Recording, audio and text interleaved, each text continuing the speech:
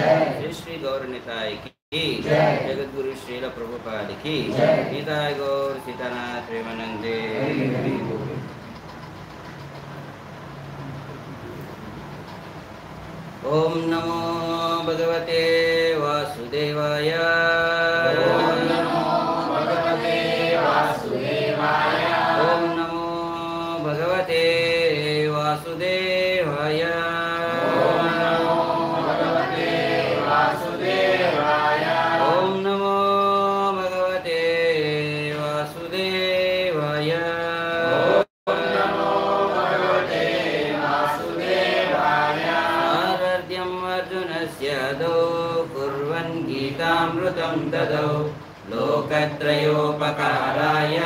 तस्मै कृष्णात्मने नमः संसारसागरं घोरं तर्तुमिच्छति यो नरः गीतानावसमासद्य పరం యాతి సుఖేన సహ సంసార సాగరం అనేటటువంటి దుఃఖ సముద్రం నందు మునిగిపోతున్నటువంటి సమస్తమైనటువంటి జనుల జీవితాల్లో ఆనందదాయకమైనటువంటి స్థితిని అందించడం కోసం భగవంతుడే స్వయంగా భగవద్గీత అనేటటువంటి నావను ఈ దరిద్రిపైకి పంపించాడు. ఈ దరిద్రిపైకి ఈ భగవ ఈ భగవద్గీత అనేటటువంటి నౌకను పంపించడం కోసమని మనకు అందించడం కోసమని తానే స్వయంగా తన ప్రియ భక్తుడైనటువంటి అర్జునుడికి రథసారథి అయ్యాడు కురుక్షేత్ర రణరంగోనందు దేనికి ఈ పని చేశాడు? లోకత్రయోపకార సమస్తమైనటువంటి లోకములకు శ్రేయస్సును కలిగించాలనేటటువంటి ఉద్దేశంతో భగవంతుడు కృష్ణుడు సర్వులకి ఆధారమైనటువంటి మూలభూతుడైనటువంటి ఆ భగవంతుడు ఈ అద్భుతమైనటువంటి దివ్య జ్ఞానాన్ని భగవద్గీత రూపంలో మనందరికీ కూడా అందించారు ఈ జ్ఞానాన్ని ఎవరైతే అందుకుంటారో అందుకున్నటువంటి వారు పరం జాతి సుఖేన సార్ పరమమైనటువంటి సుఖాన్ని బ్రహ్మ సౌఖ్యం తనంతం పరిపూర్ణమైనటువంటి ఆధ్యాత్మిక సుఖాన్ని అనుభవిస్తారు అని చెప్పి చెప్పుకొచ్చారు అందుకని జీవితంలో ఎవరైతే ఆనందించాలి అని అనుకుంటున్నారో వారికి ఏకైక ఆశాకిరణం ఏమిటి? భగవద్గీత గీతాశాస్త్రం అందుకని శాస్త్రాల్లో ఒక మాట చెప్పారు. శోక తరతి ఆత్మవిద్య అన్నారు ఎవరైతే శోకాన్ని తరించాలనుకుంటున్నారో వారు ఆత్మవిద్యులు కావాలి. తాము ఎవరనేటటువంటి తెలుసుకున్నటువంటి వాడు శోకాన్ని తరిస్తాడు. దేహమే తానని భ్రమించేటటువంటి వారు శోకతప్తులు అవుతారు తప్పితే శోకమును తరించలేరు కనుక శోకమును తరించేటటువంటి అద్భుతమైనటువంటి ఉపాయం ఈ భగవద్గీత అనేటటువంటి నౌకను ఆశ్రయించడం. ఎందుకు అని అంటే మనం అంతా భౌతిక సాగ భౌతిక జగత్ అనేటటువంటి సాగరం నందు మునిగిపోతూ ఉన్నాం. సాగరం అని అంటే సాగరంలో ఎంతసేపు ఉండగలం? ఇప్పుడు ఇక్కడ ఉన్నాము. ఏదో- సముద్రంలో ఏదో అల- అలజడి పుట్టి ఒక పెద్ద కానీ ఇక్కడ కానీ వచ్చింది ఏంటి పరిస్థితి? తెలీదు. మన పరిస్థితి ఏమిటది?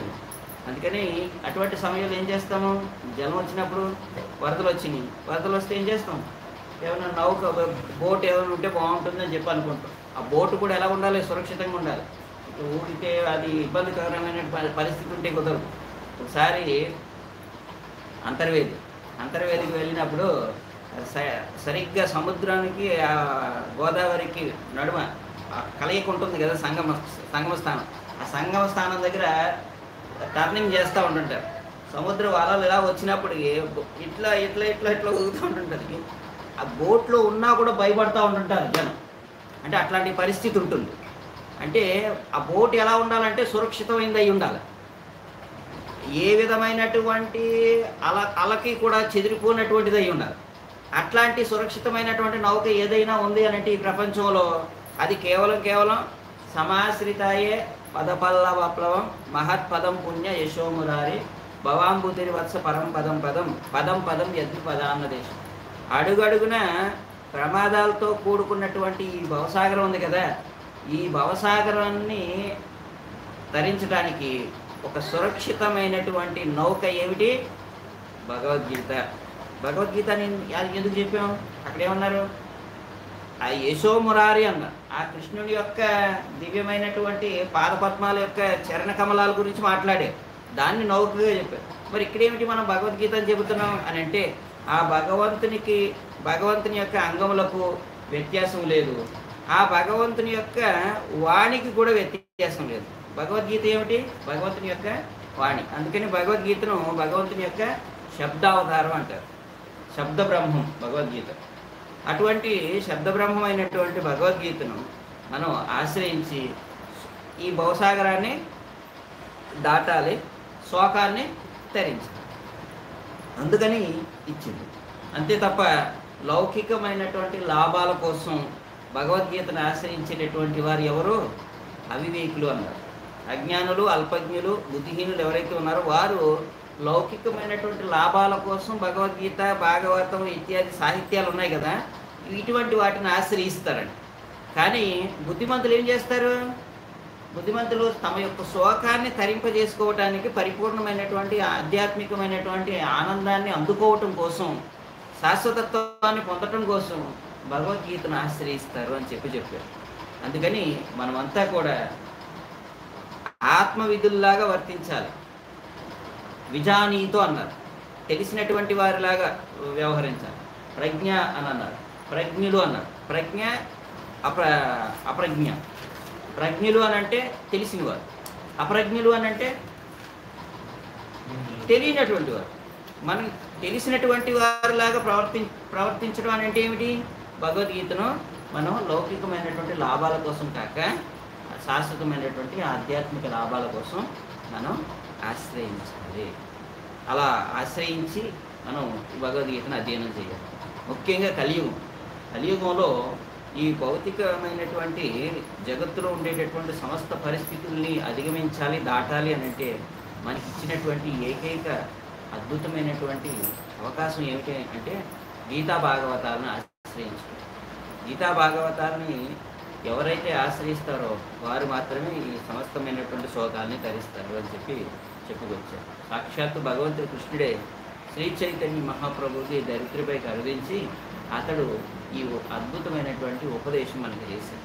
ఎంత అద్భుతమైనటువంటి ఉపదేశం అంటే ఈ భౌతిక జగత్తులో ఉండేటటువంటి సమస్తమైనటువంటి క్లేశములను అధిగమించాలన్నాను ఈ భౌతిక జగత్తులో ఉండేటటువంటి సమస్తమైనటువంటి విపత్తులను సరి అధిగ అధిగమించి ముందుకు వెళ్ళాలన్నాను వారు చేయవలసింది ఏమిటి భగవద్గీత భాగవతాలని ఆశ్రయించాలని భగవద్గీత ఏమో భగవంతుడి కృష్ణుడు ఉపదేశం చేశాడు. భాగవతం ఏమో భగవంతుడి కృష్ణుని గురించి చెప్పేటటువంటి అద్భుతమైనటువంటి చరిత్రం.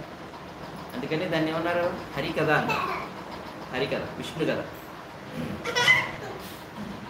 ఆ భాగవతాన్ని వింటూ ఆ భగవంతుడి కృష్ణుడు ఉపదేశం చేసినటువంటి ఆ భగవద్గీత ఉపదేశాలన్నింటినీ కూడా శ్రవణం చేస్తూ మనం ఈ భవసాగరాన్ని దాటాలి అని చెప్పారు. సమస్తమైనటువంటి వేద జ్ఞానం దీని అందే దాగి ఉన్నది నిండి ఉన్నది అంటారు వేదములు పురాణాలు ఉపనిషత్తులు ఇవి కలియుగంలో అర్థం చేసుకోలేరండి కనుకనే మనందరికీ అర్థమయ్యేటటువంటి రీతినే వేదం యొక్క ప్రయోజనం మనకు అందించడం కోసం సాక్షాత్ భగవంతుడే ఈ ఈ యొక్క ఉపనిషత్తులు సారంగా భగవద్గీతను వేదాంత సా వేదాంత సూత్ర సారంగా భాగవతాన్ని మనకి అందించారు అందుకని ఈ గీతా భాగవతాలని ఆశ్రయించినటువంటి వారు సమస్తమైనటువంటి వేద వాంగ్మయా వాంగ్మయపు ప్రయోజనాన్ని పొందుతారు అందుకుంటారు అని చెప్పి చెప్ కాబట్టి మనం చైతన్య మహాప్రభు చెప్పినటువంటి ఉపదేశాన్ని అనుసరించి ప్రతిరోజు గీతా భాగవతాలని అధ్యయనం చేయాలి.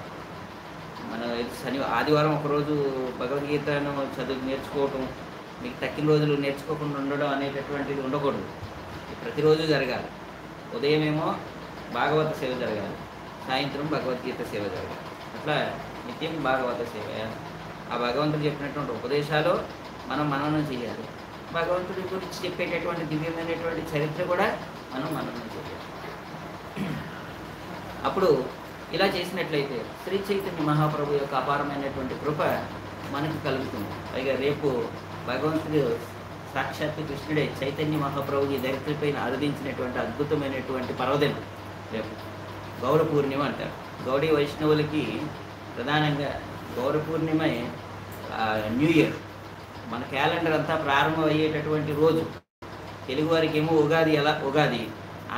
ఆంగ్లేయులకి జనవరి ఫస్ట్ ఎట్లానో గౌడీ వైష్ణవులందరికీ కూడా గౌరీ పూర్ణిమ అట్లా. అందుకని మనకి రేపు న్యూ ఇయర్. నూతన సంవత్సరం అని. అందుకని ఆ నూతన సంవత్సరపు ఆ, మధురిమను అనుభవాన్ని మనం అందుకోవాలి అంటే ఖచ్చితంగా మనం చైతన్య మహాప్రభు యొక్క అనుగ్రహంతో మనం ముందుకు వెళ్ళాలి. చైతన్య మహాప్రభు యొక్క అనుగ్రహంతో ముందుకు వెళ్ళడం అని అంటే ఒక వ్యక్తి యొక్క అనుగ్రహం ఎప్పుడు మనకు కలుగుతుంది? ఆశీర్వచనం ఎప్పుడు దొరుకుతుంది? అని అంటే ఇంకొక సైడ్ ఉంటుంది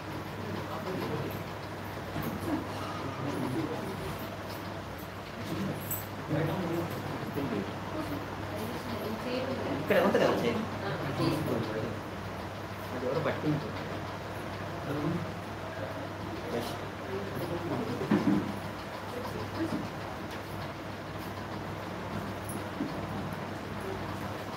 అయితే ఒక వ్యక్తి యొక్క అనుగ్రహం ఎప్పుడు వస్తుంది మనకి? పెద్దల యొక్క ఆశీర్వచనాలు ఎప్పుడు వస్తాయి అనుగ్రహం ఎప్పుడు వస్తుంది మనకి? వాళ్ళ మాట విన్నాం. వాళ్ళు చెప్పింది చక్కగా విని దాన్ని ఆచరిస్తూ వెళ్దాం వెళ్తే పెద్దల యొక్క ఆశీర్వచనం అనుగ్రహం మనకు కలుగుతుంది. పెద్దలు చెప్పినటువంటి మాట వినకపోతే అనుగ్రహం రాదు. వాళ్ళు వాళ్ళని విసిగిస్తే మనకి ఆశీర్వాదాలకు బదులు ఏమో ఏమొస్తాయి? శాపనార్థాలు అంటారు కదా కొంతమంది ఏదైనా బాధ కలిగిన వాడు పెద్దలు మాట్లాడతారు. వాళ్ళకి ద్వేషంతో మాట్లాడకపోయినా వారి నోటి నుంచి ఆ మాటలు వస్తాయి. అందుకని ఆ పెద్దల నుంచి అటువంటి మాటలు పిల్లలు వినకూడదట. అట్లా రాకూడదంట వాళ్ళు. అటువంటిది రాకూడదు. మరి అలా రాకుండా ఉండేలాగా ప్రవర్తించాల్సింది ఎవరు? పిల్లలే. అందుకని పిల్లలు ఏం చేయాలి పిల్లలు ఏం చేయాలి? చక్కగా పెద్దలు చెప్పినటువంటి చక్కగా అనుసరించి ముందుకు వెళ్ళాలి. అప్పుడు అనుగ్రహం కలుగుతుంది. అట్లే భగవంతుని యొక్క అనుగ్రహం పొందాలన్నా ఆధ్యాత్మిక ఆచార్యం యొక్క అనుగ్రహం పొందాలన్నా మనం వారు చెప్పినటువంటి దివ్యమైనటువంటి ఉపదేశాలను చక్కగా శ్రవణం చేసి అనుసరిస్తే వారి యొక్క విశేషమైనటువంటి అనుగ్రహం మనకు కలుగుతుంది. ఈ ప్రపంచంలో అందరూ కూడా భగవంతుని దర్శించాలి అని చెప్పి అనుకుంటారు. ఎంతమందికి ఉంది ఇక్కడ భగవంతుని చూడాలని? అందరికీ ఉంటుంది దాదాపుగా. కానీ భగవంతుడు మనం చూడాలని మనం చూడాలంటే రెండు ఉన్నాయి ఇక్కడ భగవంతుడిని మనం చూడటం భగవంతుడు మనల్ని చూడటం. మనం ఎంతో ఎంతో ఖర్చు పెట్టుకొని పుణ్యక్షేత్రాలు సందర్శనాలు అని చెప్పి భగవంతుని చూడడానికి వెళ్తాం. మరి భగవంతుడు కూడా మనం చూడాలి కదా? భగవంతుడు మనం చూడాలంటే? నువ్వు భగవంతుని చూసావు సరే నాయన నేను భగవంతుడు చూశాడా? అని అంటే ఇంకో ఇంకొక మాట ఏమంటారు? అంత అంతటినీ చూస్తున్నాడు కదా ఆయన మన మమ్మల్ని కూడా చూసే ఉంటాడు. చూడకుండా ఎందుకు ఉంటాడు? ఇక్కడ మనకు కావాల్సింది ఏంటి అని అంటే అనుగ్రహం కావాలి. అనుగ్రహం దేనితో వస్తుందంటే గుర్తిస్తే వస్తుంది. ఇక్కడ చాలా ముఖ్యమైనటువంటి చూడటానికి చూడటం అని అంటే జనరల్ గుర్తించడం అని అంటే ప్రత్యేకించి గుర్తించడం రికగ్నైజేషన్ ఈ వ్యక్తి ఇంతమంది ఉన్నారు ఇంతమందిలో ఆ ఫలానా వ్యక్తి అని గుర్ అని గుర్తుపెడితే గుర్తిస్తే అది దానిలో ఉంది విశిష్టత. దానివల్ల అనుగ్రహం కలుగుతుంది. ప్రత్యేకమైనటువంటి అనుగ్రహం దాని గురించి మాట్లాడుకుంటున్నాం అటువంటిది కావాలి అని అంటే మనం ఏం చేయాలి? చక్కగా ఆ భగవంతుడు చెప్పినటువంటి ఆచార్యులు అందించినటువంటి దివ్యమైనటువంటి ఉపదేశాలు చక్కగా అనుసరిస్తే మనకు కూడా అటువంటి అనుగ్రహం తప్పకుండా జరుగు కలుగుతుంది. చైతన్య మహాప్రభు మనకి చేసినటువంటి అద్భుతమైనటువంటి ఉపదేశం ఏమిటి అని అంటే ఈ ప్రపంచంలో రెండే రెండు సత్యాలు ఉన్నాయి. తక్కినదంతా అసత్యమే. ఒక మొట్టమొదటిది ఏమిటి? హరినామ సంకీర్తన రెండవది వైష్ణవ సేవ. భగవ భగవంతుని యొక్క దివ్యమైనటువంటి నామాన్ని. హరే కృష్ణ హరే కృష్ణ కృష్ణ కృష్ణ హరే హరే హరే రామ హరే రామ రామ రామ హరే హరే అనేటటువంటి దివ్యమైనటువంటి నామాన్ని జపించమని చెప్పారు. ఇలా జపించడం కీర్తించడం సత్యం అంట తర్వాత రెండవది ఏమిటి? ఈ నామాన్ని ఈ సంకీర్తన చేయడానికి మనకి శక్తిని ప్రదానం చేసేటటువంటి చక్కని వాతావరణాన్ని సమకూర్చేటటువంటి వైష్ణవ సమూహం ఉంది కదా భక్త సమూహం. ఆ భక్త సం భక్- భక్త సమూహం కూడా శాశ్వతమైనటువంటిది సత్యం అని చెప్పేసి అందుకని ఆ అటువంటి సత్యమైనటువంటి వైష్ణవుల్ని సేవించమని చెప్పారు చైతన్య మహాప్రభు. మరి ఈ రెండింటిని మనం చెయ్యాలి అని అంటే మనం ఎలా కలుగుతుంది దీని ఎందు మనకి విశ్వాసం? అని అంటే హరినామం ఎందు వైష్ణవులు ఎందు మనకి సేవా తత్పరత కలగాలి అని అంటే భగవంతుడు కృష్ణుడు చేసినటువంటి ఒక దివ్యమైనటువంటి ఉపదేశమైనటువంటి భగవద్గీత ఉపదేశాలను శ్రవణం చేయమన్నారు.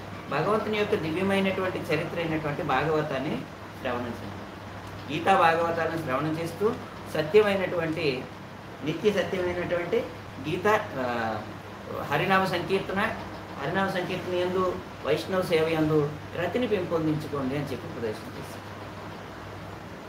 ఎందుకంటే అద్భుతమైనటువంటి ఉపదేశం చెప్పడం అందుకని చైతన్య మహాప్రభు యొక్క అనుగ్రహాన్ని పొందాలనుకునేటటువంటి వారి కోసం ఈ ఆదివారపు తరగతి భగవద్గీత తరగతి ఎంతగానో ఉపకరిస్తుంది. చైతన్య మహాప్రభు యొక్క అనుగ్రహం నిజంగా రేపు చైతన్య మహాప్రభు ఆవిర్భావ తిథి అయితే ఆవిర్భావ తిథికి ముందు చైతన్య మహాప్రభు చేసినటువంటి దివ్యమైనటువంటి ఉపదేశంలో ఈ ప్రతిరోజు భగవద్గీతను అధ్యయనం చేయకుండా ప్రతిరోజు భగవద్గీతను అధ్యయనం చేసేటటువంటి వారికి చైతన్య మహాప్రభు యొక్క అపారమైనటువంటి కరుణ లభిస్తుంది. అందుకని మనం మీరు ఇక్కడికి వచ్చినటువంటి మీరంతా కూడా భాగ్యవంతులే. ఎందుకు? చైతన్య మహాప్రభు యొక్క అనుగ్రహాన్ని అందుకో అందుకోవడానికి సంసిద్ధంగా ఉన్నారు. అయితే ఆ చైతన్య మహాప్రభు యొక్క అనుగ్రహాన్ని మనకు అందించేటటువంటి గీతోపదేశాన్ని అనుసరించేటటువంటి విధానంలో మనం గీతను అధ్యయనం చేస్తున్నాం. ఇలా అధ్యయనం చేసేటటువంటి ఈ ప్రక్రియలో మనం ఈరోజు భగవద్గీత రెండవ అధ్యాయం ఏ జ్ఞానం అయితే తెలి ఏ జ్ఞానం అయితే మనుజుడు తెలుసుకుంటే శోకమును తరిస్తాడో ఆ జ్ఞానంనకు ఆత్మజ్ఞానం అని పేరు. అటువంటి ఆత్మజ్ఞానాన్ని అందించేటటువంటి అద్భుతమైనటువంటి అధ్యాయం రెండవ అధ్యాయం. దాన్ని సాంఖ్య యోగం అన్నారు. శ్రీల ప్రభుపాదుల వారు ఈ అధ్యాయాన్ని సా గీతాసారం అని కూడా చెబుతున్నారు. అయితే ఆ అధ్యాయం నందు ఇరవై శ్లోకం ఈరోజు మనం చెప్తున్నాం. ఇరవై శ్లోకం నందు చెబుతున్నారు. ఏమని అని అంటే ఆత్మ ఆత్మ గురించినటువంటి వివరణ. ఆత్మ జన్మించదు. నజాయతే మ్రియతే మరణించదు కూడా. ఎప్పుడు మరణించదు? ఎప్పుడు జన్మించదు ఎప్పుడు మరణించదు. నాయం భూత్వ భవితావానభూయ. అది భవిష్యత్ జన్మించదు జన్మింపలేదు జన్మింపబోదు. అంటే వర్తమానం నందు లేదు గతం గత గతం నందు లేదు వర్తమానం నందు లేదు భవిష్యత్తు నందు జరగదు. అంటే ఎప్పుడు ఉండేది ఇది. శాశ్వతంగా. అజహ. ఎందుకు అంటే పుట్టుక లేనిది. నిత్య నిత్యమైనటువంటి. శాశ్వతోయం. శాశ్వత. శాశ్వతమైనటువంటి. పురాణ. ప్రాచీనమైనటువంటి. ఇటువంటి ఆత్మ నా హన్యతే చంపబడదు హన్యమానే శరీరం. శరీరం నశించినా కానీ ఆత్మ నశించదు అని అద్భుతమైనటువంటి ఉపదేశం చేసుకోవచ్చు ఇప్పుడు ఈ విషయం తెలుసుకున్నటువంటి వారికి చనిపోతామనే భయం ఎందుకు కలుగుతుంది నశించదు శరీరం నశించిపోతుంది కానీ ఆత్మ నశించదు అని తెలిసిన తర్వాత ఇప్పుడు శోకం ఎందుకు కలుగుతుంది భయం ఎందుకు కలుగుతుంది నాకు ఏదవుతుంది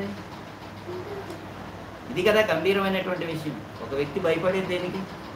ప్రపంచంలో అత్యంత భయంకరమైన విషయం ఏమిటండి? మృత్యు భయం మృత్యువు చాలా భయం భయంకరమైంది. ఆ భయమే పోయింది ఇప్పుడు. ఈ ఉపదేశం విన్న తర్వాత. ఇంత అద్భుతమైనటువంటి ఉపదేశం మన భయాన్ని తొలగించేటటువంటి ఉపదేశం. నజాయతే మ్రియతే వా కదాచిన్ नायं भूत्वा भविता वा न भूयः अजो नित्यः शाश्वतोऽयं पुराणो। अजो नित्यः शाश्वतोऽयं पुराणो। न हन्यते हन्यमाने शरीरे।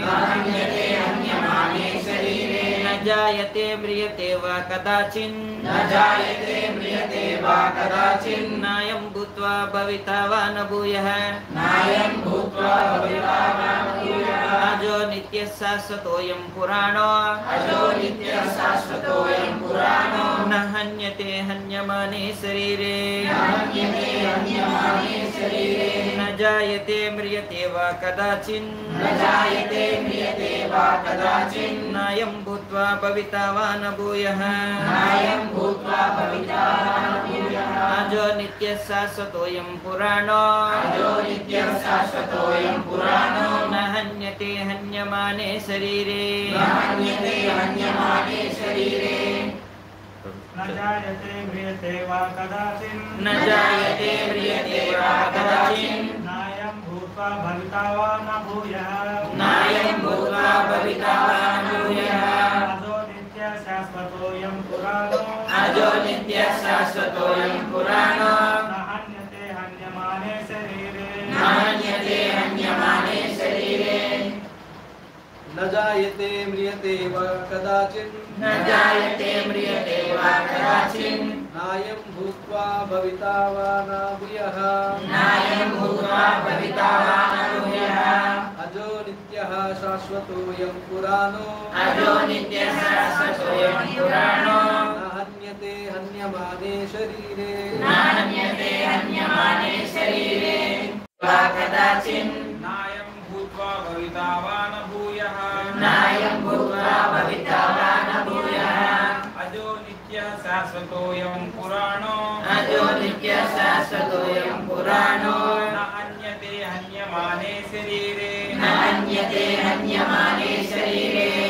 न जायते म्रियते वा कदाचित्। न जायते म्रियते वा कदाचिन् नायं भूत्वा भविता वा न भूयः। नायं भूत्वा भविता वा न भूयः। अजो नित्यः शाश्वतोऽयं पुराणो। अजो नित्यः शाश्वतोऽयं पुराणो। न हन्यते हन्यमाने शरीरे। न हन्यते हन्यमाने शरीरे वा कदाचिन् न जायते म्रियते वा कदाचिन्। नायं भूत्वा भविता वा न भूयः नायं भूत्वा भविता वा न भूयः अजो नित्यः शाश्वतोऽयं पुराणो। अजो नित्यः शाश्वतोऽयं पुराणो। हन्यते हन्यमाने शरीरे। न हन्यते हन्यमाने शरीरे। न जायते म्रियते वा कदाचिन्। न जायते म्रियते वा कदाचिन् भूत्वा भविता वा न भूयः अजो नित्यः शाश्वतोऽयं पुराणो। अजो नित्यः शाश्वतोऽयं पुराणो। हन्यते हन्यमाने शरीरे। न हन्यते हन्यमाने शरीरे। न जायते म्रियते वा कदाचित्। नायं भूत्वा भविता वा न भूयः नायं भूत्वा भविता वा न भूयः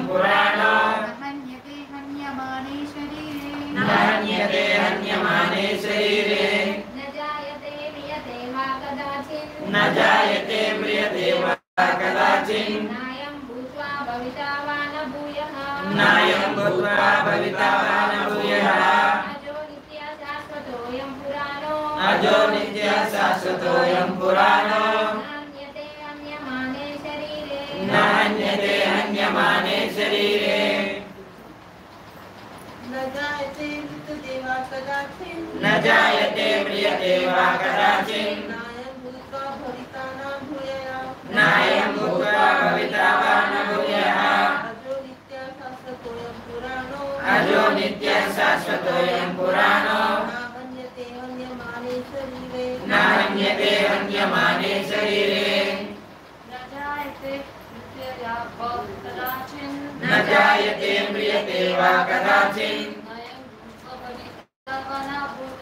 नायं भूत्वा भविता अजो नित्यः शाश्वतोऽयं न हन्यते हन्यमाने शरीरे।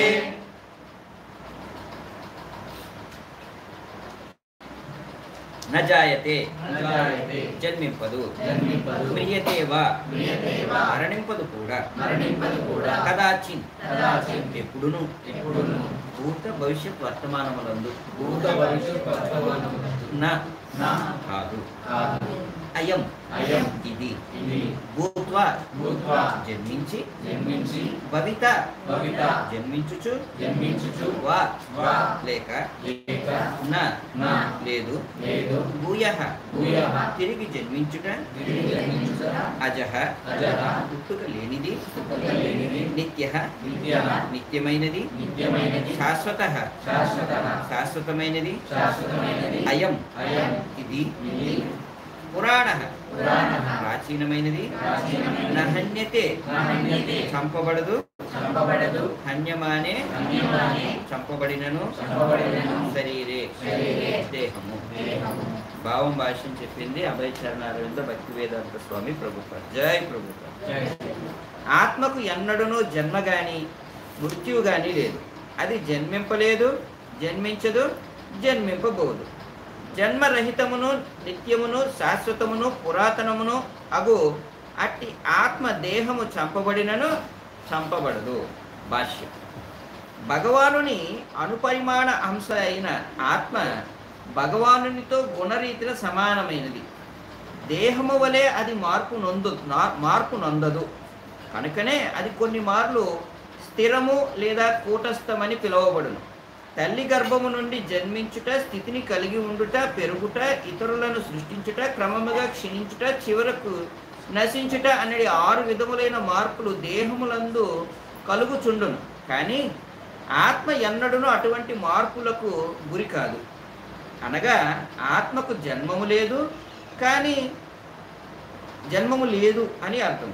కానీ అది దేహము దేహమును స్వీకరించటం వలన దేహమును దేహమునకు జన్మము పొందు దేహము ద్వారా జన్మ పొందుచున్నది.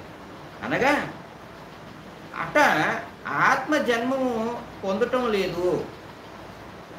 అలాగనే అది మరణమునకు సైతము గురి కాదు. జన్మించిన ప్రతిదానికి మరణము తప్పదు. కానీ ఆత్మకు జన్మము లేనందున భూత భవిష్యత్ వర్తమానములన్నవి దానికి లేవు.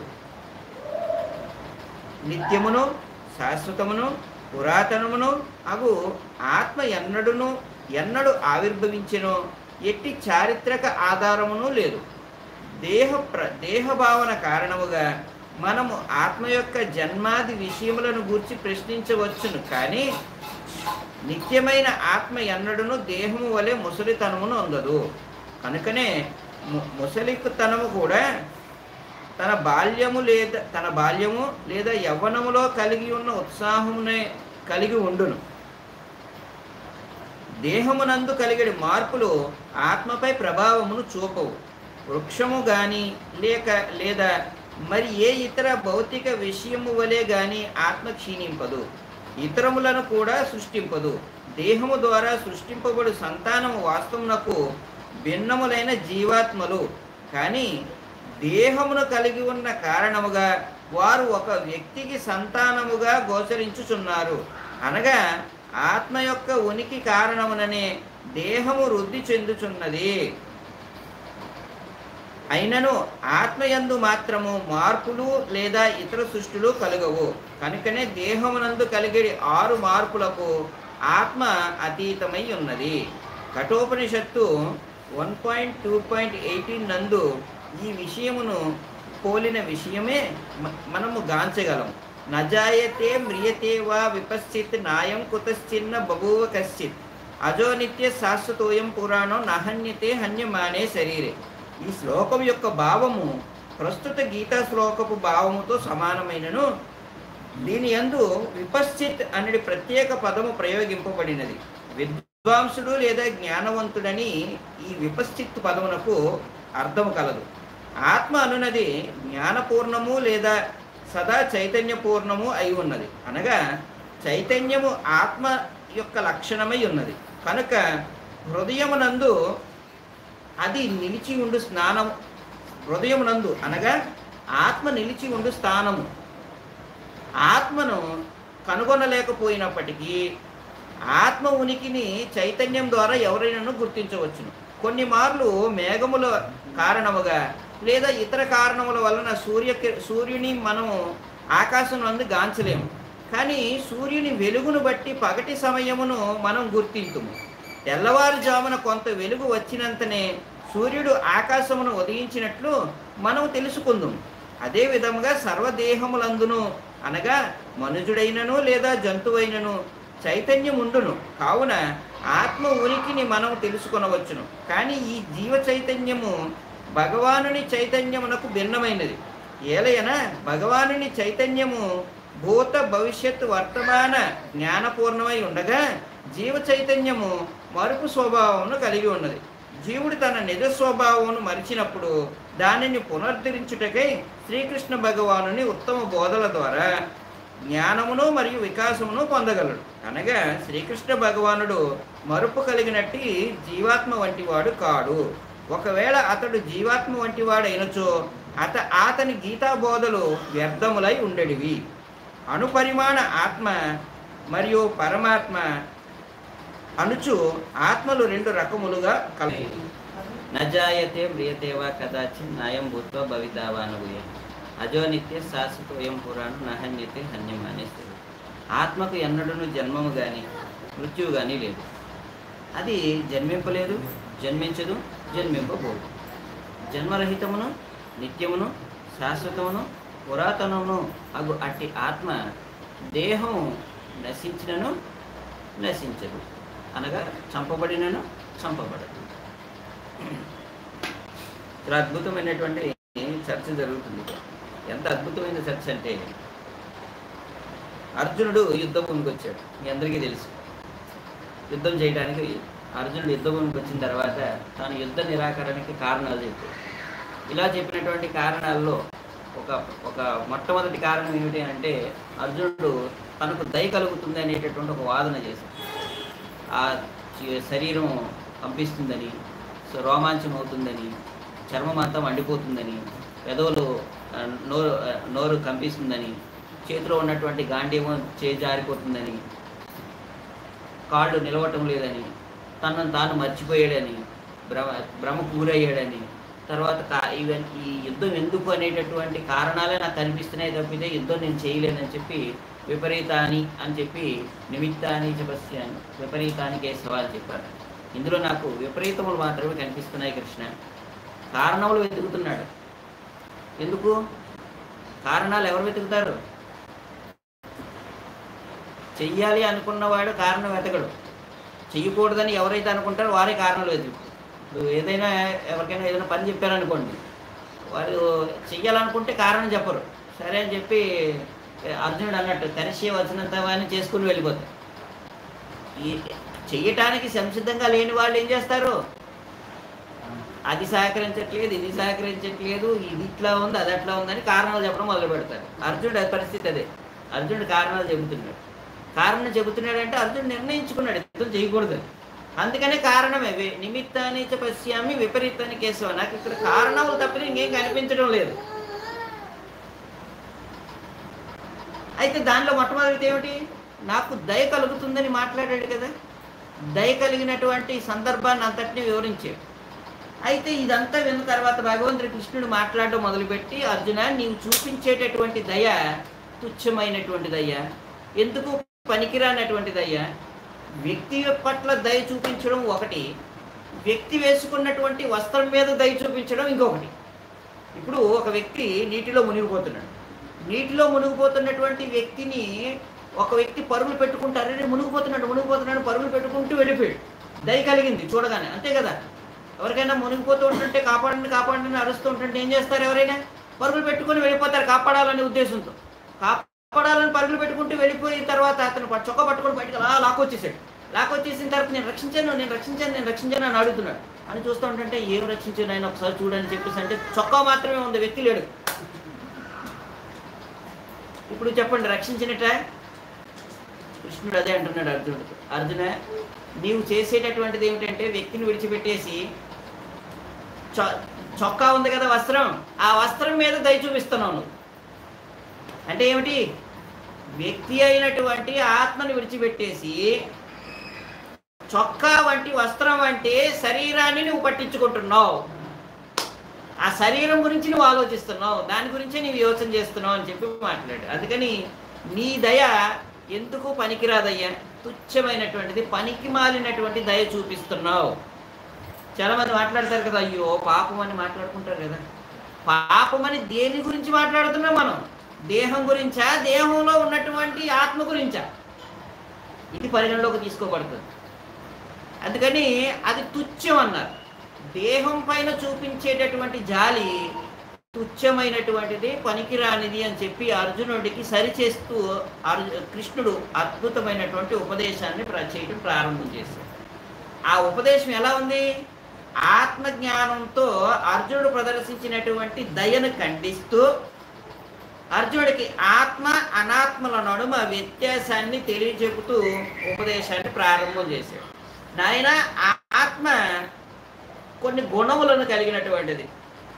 శరీరానికి కూడా కొన్ని గుణములు ఉన్నాయి ఆత్మ ఏమో సత్య చిత్ ఆనందముల ఆనందములను కూడినటువంటిది.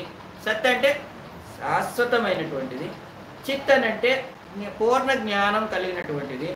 ఆనందాన్ని అంటే ఆనంద ఆనంద ఆనందభరితమైనటువంటిది ఆనందమయమైనటువంటిది. దేహము అసత్ అచిత్ నిరానంద. అశాశ్వతమైనటువంటిది దేహం.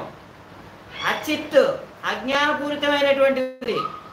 తర్వాత మూడవది నిరానంద. ఆనందజనితమైనటువంటి స్థితి లేనటువంటిది శరీరంలో.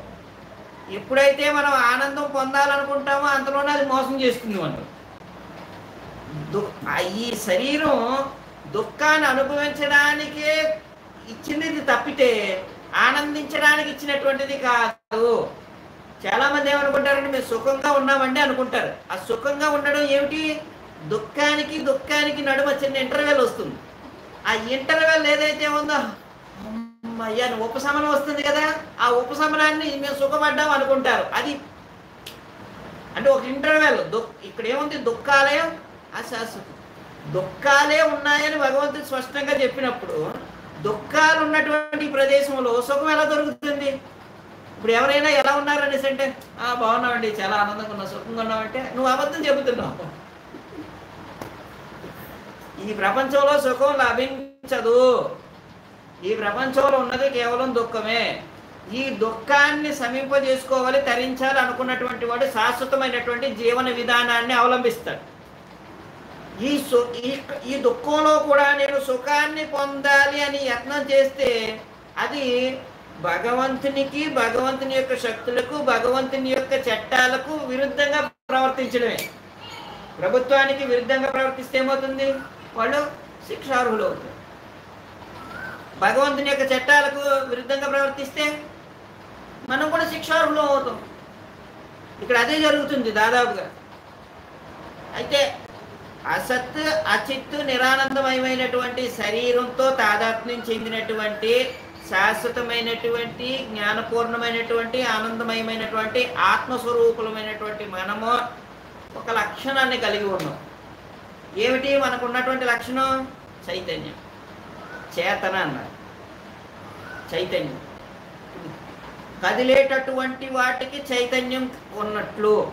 కదలనటువంటి వాటికి అచేతన జడ అని చెబుతారు. జడ పదార్థం ఏమయ్యా? నోట్లో ఏం పెట్టుకున్నావు? జడ పదార్థం జడంలాగా తయారయ్యావు నువ్వు. జడుడు అని అంటారు కదా. జడ పదార్థంలా తయారయ్యావు నువ్వు అని అంటారు. అంటే ఏంటి చైతన్యం లేదు అక్కడ. ఇప్పుడు ఉదాహరణకి ఇప్పుడు నేను ఇక్కడ కుర్చీలో కూర్చున్నా. ఈ కుర్చీ కదులుతుందా? దీనికి చైతన్యం లేదు. ఇప్పుడు నేను కదిపితే కానీ కదలదు. కానీ నేను మాట్లాడుతూ లిప్ మూమెంట్ ఇస్తున్నాను. చేతులు కదుపు చేతులు కదుపుతున్నాను తల అటు ఇటు ఆడిస్తున్నాను.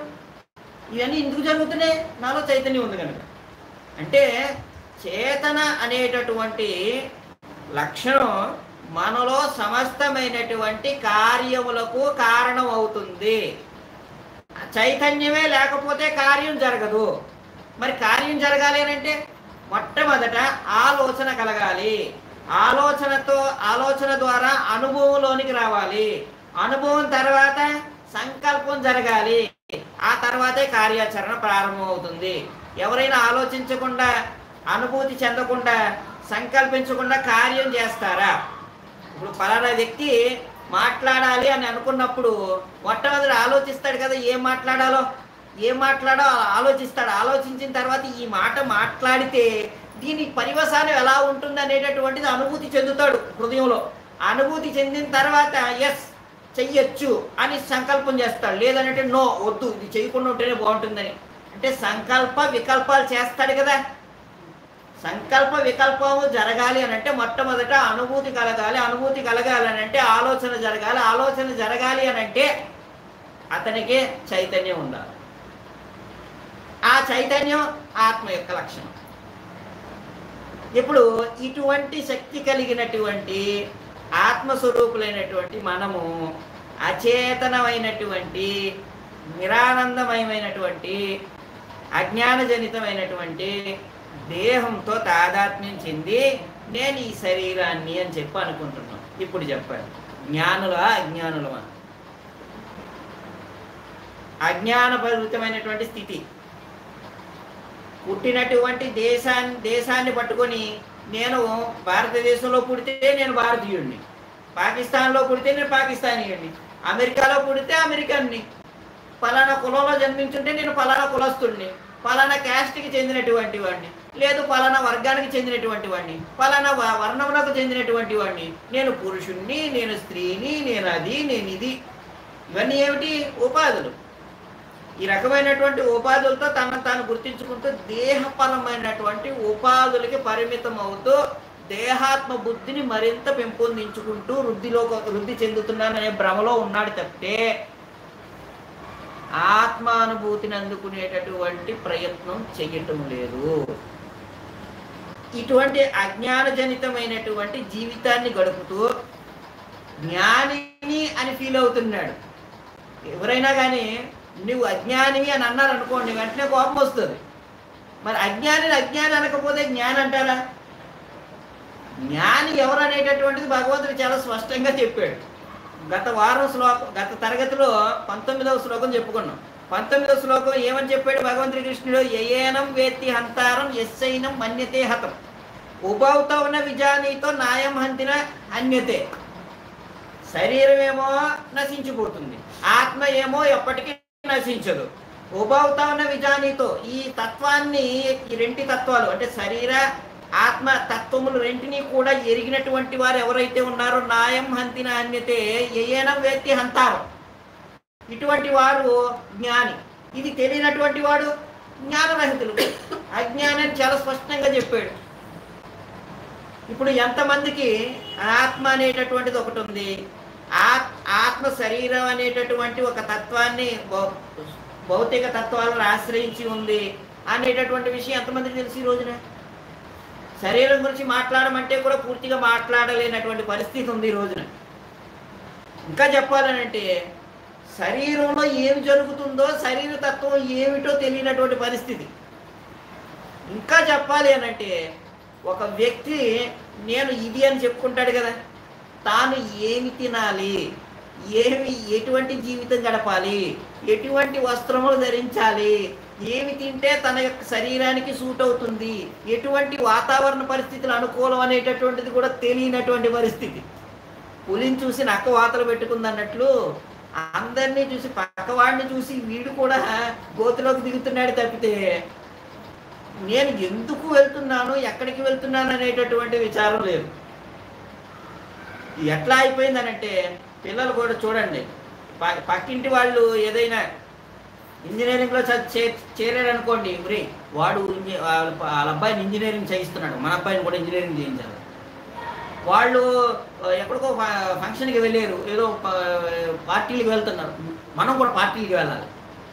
ఇంకా ఎట్లా ఉంది అంటే పరిస్థితి వాళ్ళు ఎటువంటి స్కూల్లో చేర్చారో అట్లాంటి స్కూల్లోనే మన పిల్లల్ని కూడా చేర్చాలి.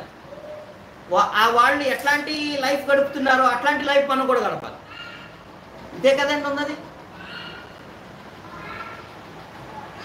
జ్ఞానంతో ప్రయాణం చేయటం అనేటటువంటి పరిస్థితి ఎక్కడ ఉంది ఈ రోజున? ఎక్కడ లేదు. ఒకరిని చూసి ఒకరు. ఒకడంట తేలు కన్నంలో వేలు పెట్టాడండి తేలు కన్నంలో వేలు పెట్టిన తర్వాత మరి ఊరికే ఉంటుందా తేలు? ఏం చేస్తుంది? కుట్టింది. కుట్టిన తర్వాత బయటికి తీశాడు వేలు. తీసిన తర్వాత పక్కన వాడు వచ్చి "ఇది ఏమైందిరా? ఏమైంది? ఏమైంది? అని అంటుంటే ఏమీ లేదు. అని అంటే, ఏమైంది? ఎందుకు అట్లా ఉన్నా అంటే చాలా చల్లగా ఉంది లోపల. అని అన్నాడు అని అవునా? అయితే చూడు నువ్వు కూడా అన్నాడు వేలు పెట్టాడు. పెట్టాడు. వాడికి కూడా తగిలింది. తగిలిన తర్వాత పక్కన వాడు అడిగి బాగుందా? అని అంటే చాలా బాగుంది. నువ్వు కూడా పెట్టు. ఇదే జరుగుతుంది ప్రపంచంలో. ఎవ్వరు కూడా నొప్పి ఉంది బాధ ఉందని ఎవ్వరు ఎవరికి చెప్పరండి. అందరూ భౌతిక జీవనం అనేటటువంటి తేలికన్నంలో వేలు పెట్టి పుట్టించుకొని నొప్పిని అనుభవిస్తూ ఉంటారు కానీ ఎవరో కూడా ఇది నొప్పిగా ఉందని చెప్పరు. అందరికీ తెలుసు. ఇప్పుడు అందుకనే చూడండి భౌతిక జీవితం ఏమీ లేదంటే ఆధ్యాత్మిక జీవితం చాలా గొప్పదని మాట్లాడుకుంటారు. మరి ఆధ్యాత్మిక జీవితం గొప్పదని మాట్లాడినప్పుడు ఆధ్యాత్మిక జీవితం అవలంబించాలి కదా. కానీ అవలంబించలేదు. కారణం ఏమిటి? తేలుతో పుట్టించుకోవడంలోనే మజా ఉంది.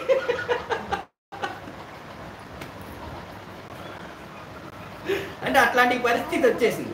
అందుకని భగవంతుడు చాలా స్పష్టంగా చెప్పాడు.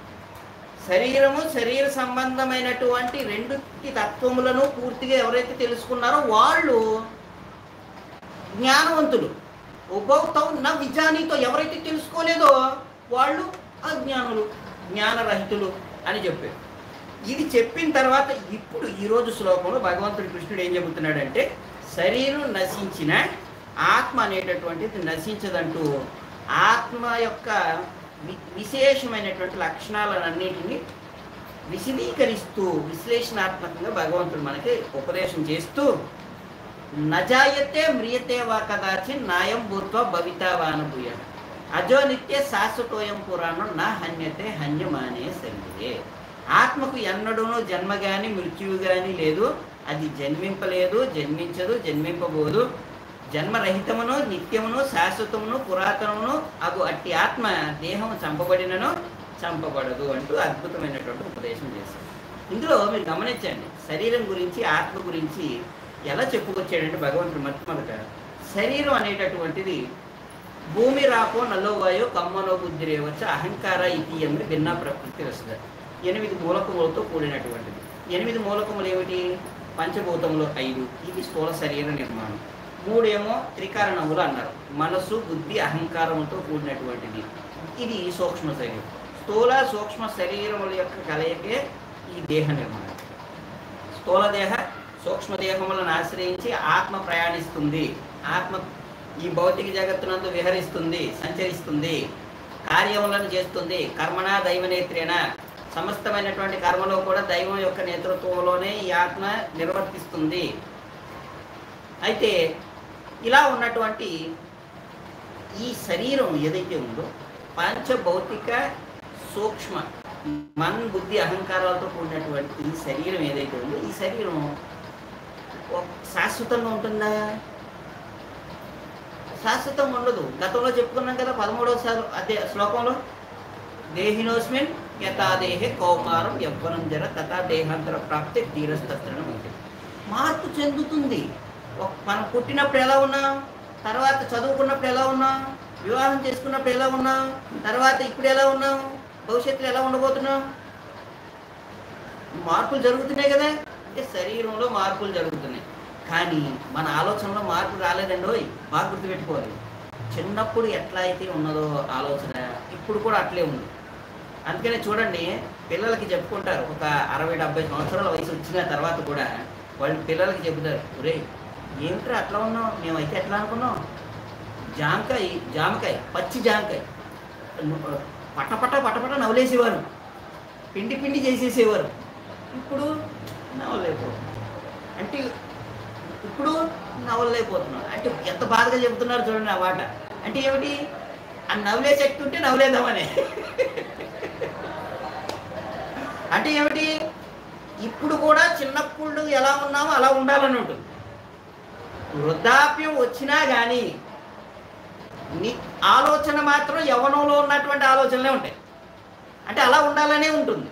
కానీ శరీరం సాగం ఆత్మకి ఆత్మకేమో నూ- నిత్య నూతనత్వం ఉంది. కానీ శరీరానికి లేదు కదా. శరీరం ఏమవుతుంది? పుడుతుంది వాడిపోతుంది అది పెరుగుతుంది ఉత్పత్తి చేస్తుంది నశి క్షీణిస్తుంది నశిస్తుంది. ఆరు మార్పులు అద్భుతంగా జరుగుతాయి శరీరం. అదే విషయాన్ని చెప్పుకొచ్చారు. ఇలా చివరి మార్పు ఏమిటి? శరీరం యొక్క మార్పు? ఈ శరీరాన్ని విడిచిపెట్టి ఇంకొక శరీరంలోకి వెళ్ళడం అందుకని ఏమన్నారు? శరీరం హన్యమానే శరీరే ఈ శరీరం నశిస్తుంది. మరి ఎందుకండి దీనికోసం ఇంత ఆరాటపడుతున్నాం? డైరెక్ట్ చెప్పాడు భగవంతుడు ఈ శరీరం నశిస్తుంది. కానీ ఆత్మ నహన్యతే నశించదు. శరీరం పొందిన తర్వాత మరి ఏం చేయాలి ఇప్పుడు మరి?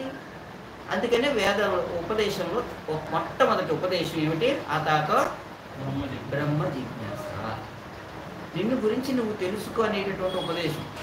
ఆత్మానుభూతిని అందుకోనేటటువంటి అద్భుతమైనటువంటి రీతిని మనకి ఉపదేశం విద్యారంభ చేయబడింది. మొట్టమొదటి ఉపదేశం అతాతో బ్రహ్మ జిజ్ఞాస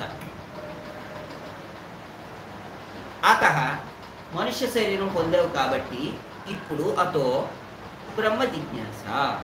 ఆధ్యాత్మిక స్వరూపునిగా నిన్ను నువ్వు తెలుసుకో. ఆధ్యాత్మిక తత్వాన్ని తెలుసుకో. భౌతిక తత్వంలో ఉన్నావు. ఈ భౌతిక తత్వంలో ఉన్నటువంటి నీవు ఆధ్యాత్మిక తత్వం అని ఎరుగు. దానికై అభ్యాసం చెయ్యి. ఇది తెలుసుకున్నటువంటి వాడు ఎవరు? విపశ్చిత్ అన్నారు.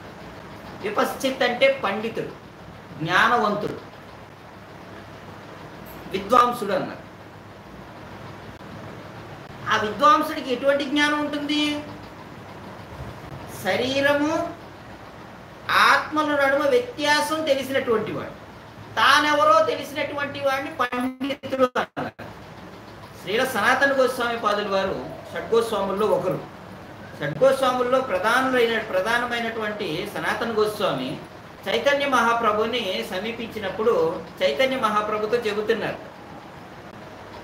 మహాప్రభు అంతా కూడా నన్ను పండితుడు అని చెప్పుకుంటున్నారు కానీ వాస్తవానికి నేనెవరో నాకు తెలియదు నేనెవరో నాకు తెలియనప్పుడు నేను ఏ పాటి పండితుడిని అదే కదా చెప్పింది విపశ్చిత్. సరి ఆత్మ అనాత్మల నడుమ వ్యత్యాసం తెలిసినటువంటి వాడు. తానెవరో తెలిసినటువంటి వాడు పూర్ణంగా. అటువంటి వాడెవరో విపశ్చిత్ పండితుడు. సనాతన కోసం ఏమని చెబుతున్నారు నేనెవరో నాకు తెలియదు కానీ అందరూ నన్ను పండితుడు అంటున్నాడు. నేను ఏ పాటి పండితుడిని? శ్లోకం చెబితే పాండిత్యం పెరుగుతుందా?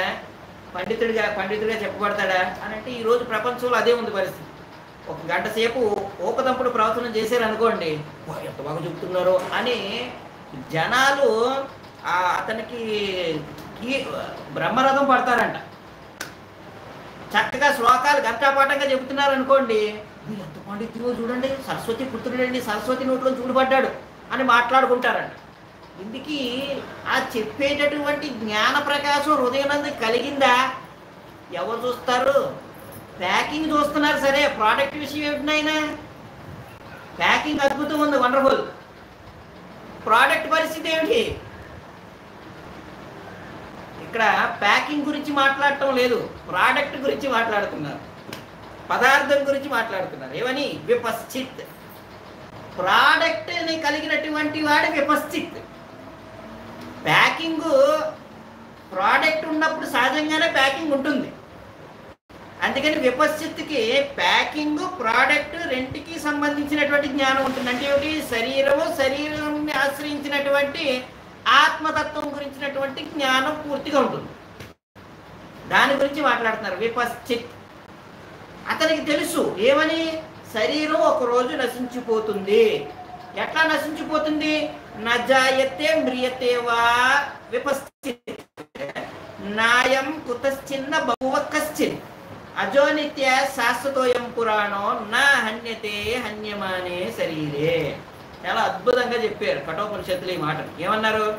విపశ్చిత్ ఆత్మ అనాత్మలను వ్యత్యాసం తెలిసినటువంటి వాడు ఆత్మగా తానెవరో ఎరిగినటువంటి వాడు. అతన్ని ఏమన్నారు? విపశ్చిత్ అన్న ఈ ఈ శ్లోకంలో కుతశ్చిన్ అనేటటువంటి ఇంకొక శబ్దం ప్రయోగించబడింది. కుతశ్చిన్ అంటే ఏమిటి? దేహంలో ఉన్నటువంటి ఆరు మార్పులు. అతనికి దేహం ఈ విధంగా నశించిపోతుంది అనేటటువంటి తెలుసంట. ఏమిటి ఆరు మార్పులు? దేహం జాయతే పుడుతుంది. తర్వాత ఆ దేహం పుట్టిన తర్వాత అస్థి కొంతకాలం స్థితిని కలిగి ఉంటుంది. తర్వాత వర్ధతే పెరుగుతుంది. పెరిగిన తర్వాత విపరిణితే సృష్టిస్తుంది. సృష్టి చేస్తుంది. తర్వాత ఏమవుతుంది? అపక్షీయతే క్షీణిస్తుంది. చివరిగా నశ్యతి నశిస్తుంది. జాయతే పుట్టారు. వెంటనే ఏం చెప్తారు "ఆ, వాళ్ళకి అబ్బాయి పుట్టాడండి. మాట్లాడుకుంటారు కదా? నాయన ఈరోజు నీ పుట్టినరోజా అని మాట్లాడుకుంటారు కదా. పుట్టాడు అంటారు. తర్వాత ఏమంటారు? అతను ఉన్నాడా? అని అంటే "ఆ, ఉన్నాడండి. అంటే ఏమిటి? ఆ స్థితి స్థితిని కలిగి ఉన్నాడండి. ఇంకా పోలే ఇంకా హరిగోలు అవ్వలేదా? "ఆ, ఉన్నాడండి. తర్వాత వర్ధతే మరి ఉన్నాడు కాబట్టి అలా ఉన్నాడు కదా. ఏమవుతాడు? నేను ఎదుగుతున్నాగా మమ్మీ కాంప్లైంట్ బాయ్ కదా. పెరుగుతూ ఉంటుంటాడు. వర్ధతే. మరి అలాగే ఉన్నాడు కదా పెరిగినవాడు. అదే చదువుకునే రోజుల్లో పిల్లలు. పెరిగిన తర్వాత ఏం కావాలి? ఫ్రెండ్ కావాలి కదా గర్ల్ ఫ్రెండ్ కావాలి. అప్పుడు ఏం చేస్తారు? వివాహం. తర్వాత ఏం జరుగుతుంది? విపరిణితే సృష్టి జరుగుతుంది. సంతానోత్పత్తి కలిగింది. ఆ మనోడు వంశాంకురాన్ని నిలబెట్టాడండి. అంటే ఏమిటి? విపరిణితి జరిగిందండి. తర్వాత ఏమవుతుంది? కొద్ది రోజుల తర్వాత అప్పట్లాగా ఒళ్ళు సహకరించట్లేదండి. అపక్షీయతే. శరీరంలో శక్తి నశించిందండి. ఒకప్పట్లాగా అన్ని తింటున్నాను కానీ అరగట్లేదండి. ఒకప్పట్లా కూర్చోలేకపోతున్నానండి. ఒకప్పట్లాగా అన్ని చేయలేకపోతున్నానండి. అపక్షీయతే. కొంచెం శక్తి తగ్గిందండి. తర్వాత నాయనా జాగ్రత్త నాయనా నశ్యతి నశించిపోతుంది. ఎంత అద్భుతంగా చెప్పారు చూడండి. ఈ విషయం విపశ్చిన్ విపశ్చిన్ కుతశ్చిన్ విపశ్చిన్. ఈ విషయాలని ఆరు మార్పులు దేహానికి జరుగుతాయి కలుగుతాయి అనేటటువంటిది తెలిసిన వాడు విపశ్చిన్ విద్వాంసుడు. అతనికి తెలిసింది. కనుక ఈ దేహం మార్పు చెందిపోతుంది ఒక రోజుకి అని నా హన్యతే హన్య మానే శరీరే. శరీరం నశించిపోయినా కానీ నేను మాత్రం శాశ్వతంగా ఉంటాను అనేటటువంటి విశేషమైనటువంటి జ్ఞానం కలిగిన వారిని ఏమన్నారు? విపశ్చిన్ విద్వాంసులు అన్నారు. అటువంటి విద్వత్తత పాండిత్యాన్ని భగవంతుడు సమస్తమైనటువంటి జీవులకు అందించడం కోసం ఇక్కడ అద్భుతమైనటువంటి ఉపదేశం చేశాడు. ఒక చెట్టు ఉంది. ఆ చెట్టు ఏం జరుగుతుంది? ఆ చెట్టుకి మొట్టమొదట పూత పూస్తుంది. తర్వాత మొగ్గలు వస్తాయి. తర్వాత అది పువ్వు అవుతుంది వికసిస్తుంది వాడిపోయి రాలిపోతుంది వాడిపోతుంది అంతే కదండి? అట్లే ఈ ప్రకృతిలో మనం కూడా ఏం చేస్తున్నాం? పూసాం. తర్వాత మొగ్గగా అయ్యాం. తర్వాత వికసించాం. వికసించిన తర్వాత వాడిపోయాం రాలిపోయాం. అదే కదండి జరుగుతుంది. మనం అనుకుంటున్నాం ఆహా ఓహో అనుకుంటున్నాం ఈ రంగుల లోకం చూసి ఏమీ లేదండి. ఈ రంగులు మన మన రంగులు మారుస్తున్నాయి. మన రంగుల్ని మారుస్తుంది ఈ ప్రపంచం. అందుకని గుర్తుపెట్టుకోండి ఈ శరీరం మారిపోతుంది మార్పు చెందుతుంది. ఒకప్పుడు ఉన్నట్టు ఇప్పుడు ఉండదు. రేపు కూడా ఇది ఇలా ఉండిపోదు. అందుకని ఈ శరీరం నశించిపోయేది కాబట్టి గుర్తుపెట్టుకో. అలా చింతించాల్సిన అవసరం లేదు. నా జాయతే మ్రియతేవా కదాచిన్ నాయం భూతో భవితావానభూయన అజో నిత్య శాశ్వతోయం పురాణం. నా అన్యతే అన్యమానే శరీరే. ఏమన్నారు? అన్యమానే శరీరే. శరీరం నశించిపోతుంది కానీ ఆత్మ? ఆత్మ? ఆత్మగా మనం ఈ నశించేటటువంటి శరీరానికి అతీతమైనటువంటి వారును. ఇదే విషయాన్ని భగవంతుడు కృష్ణుడు చెబుతున్నాడు. నా హన్యతే నశించరు. ఎందుకు? ఈ ఆత్మ నశించడమే కాదు. నశించకపోవడమే కాదు.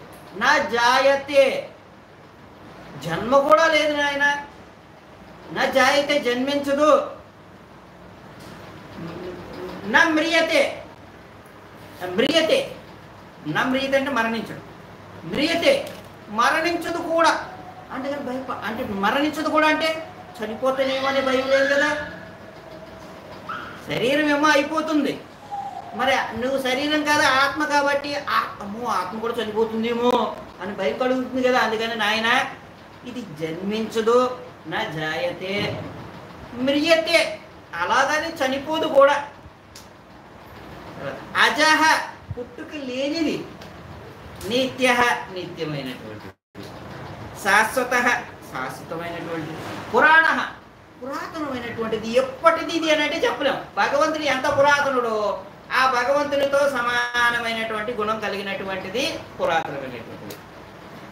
నా హన్యతే. ఇది చంపబడదు. ఎంత అద్భుతంగా చెప్పాడు చూడండి తర్వాత నాయం భూత్వ నా భవితావాన భూయ. ఇది జన్మింపలేదు జన్మించదు జన్మింపబోదు. అంటే ఎప్పుడు ఉండేది ఇది? శరీరానికి నశింపు ఉంది కానీ ఆత్మకి నహన్యతే. నశింపు లేదు చంపబడదు అని అద్భుతంగా చెప్పారు. ఎందుకు ఆత్మకి లక్షణాలు వచ్చినాయి అని అంటే భగవంతుడి కృష్ణుడు అతని యొక్క విశేషమైనటువంటి గుణాలను గురించి తెలుపుతూ బ్రహ్మదేవుడు ఈశ్వర పరమ కృష్ణ సచ్చిదానంద విగ్రహ అనాది రాజ గోవింద సర్వకారణ కారణం అని చెప్పి స్థుతి చేశారు దానిలో భగవంతుని యొక్క గుణాలను చెబుతూ సత్ చిత్ ఆనంద విగ్రహ అన్నారు సత్ అంటే శాశ్వతమైనటువంటి వాడు. చిత్తు పూర్ణ జ్ఞానం కలిగినటువంటి ఆనంద ఆనందభరితమైనటువంటి ఆనంద నిధి భగవంతుడు. మరి అతడు శాశ్వతమైనటువంటి వాడు కాబట్టి పూర్ణమైనటువంటి జ్ఞానాన్ని కలిగినటువంటి వాడు కాబట్టి అతడు ఆనందాన్ని కలిగినటువంటి వాడు కాబట్టి అతని యొక్క నిత్యమైనటువంటి అంశలమైనటువంటి మనం కూడా అతని వంటి స్వభావాన్ని కలిగినటువంటి వారమే. భగవంతుడేమో విభు మనమేమో అతని యొక్క శాశ్వతమైనటువంటి అంశాలుగా అణుపరిమాణం కలిగినటువంటి వారు. కాబట్టి అతనితో సమానమైనటువంటి వారం కాక కాకపోవచ్చు పరిమాణ రీతిన. కానీ గుణరీతిని మాత్రం సమానమైనటువంటి వారినే భగవంతునితో.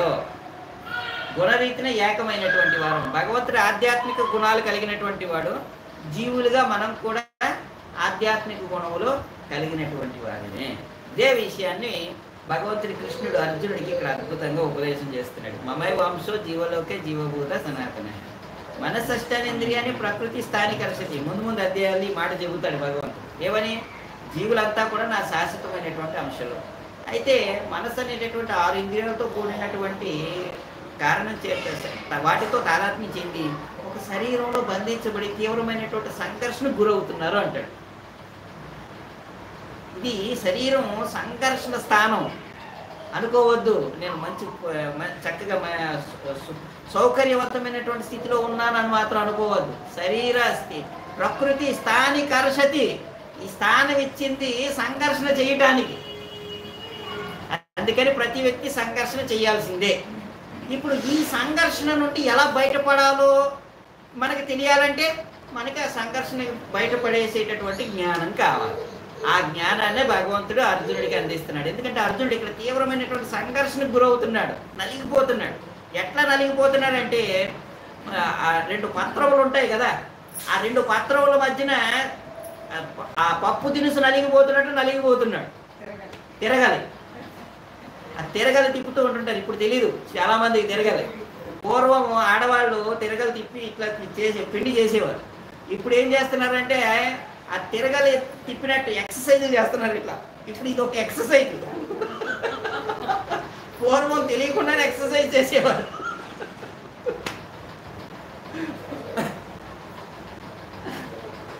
బట్టలు ఉతుకుతారు. ఎట్లా? చక్కగా ఇట్లా ఇట్లా కొడతారు కదా.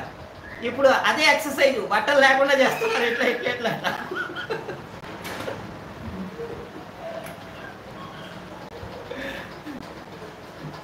అట్లా. తిరగాలి ఉంది కదా. ఎనీవే మన సబ్జెక్ట్లో వచ్చేద్దాం. ఆ తిరగాలి ఇలా మధ్యన పప్పు దినుసు నలిగిపోతున్నట్టు నలిగిపోతున్నాడు. ఇదే సంఘర్షణ. ఇటువంటి సంఘర్షణ నుండి బయటపడాలి. ఈ సంఘర్షణ నుండి బయటపడటం కోసం మనకి భగవంతుడు ఇచ్చినటువంటి అద్భుతమైనటువంటి జ్ఞానమే ఆత్మజ్ఞానం. అర్జునుడికి చెబుతున్నాడు? అర్జున వాస్తవానికి నీవు శరీరం కాదయ్యా. శరీరానికి అతీతమైనటువంటి ఆత్మస్వరూపుడవు. జీవేర స్వరూపహాయ నిత్యర కృష్ణదాస. నీవు పొందినటువంటి శరీరానికి ఒక ధర్మం ఉంది క్షత్రియ ధర్మం. ఆ క్షత్రియ ధర్మం దేనికోసం? నీ యొక్క శాశ్వత ధర్మమైనటువంటి ఆత్మధర్మమునందు స్థితులు అవడం కోసం. మరి ఆత్మధర్మం ఏమిటి? జీవన స్వరూప నిత్యర కృష్ణదాస. జీవుని యొక్క నిజస్థితి కృష్ణునికి సేవ చేయటం ఇది జీవుని యొక్క నిజస్థితి. ఆ స్థితిలో నీవు క్షత్రియునిగానైనా నీవు యుద్ధం చెయ్యాలి.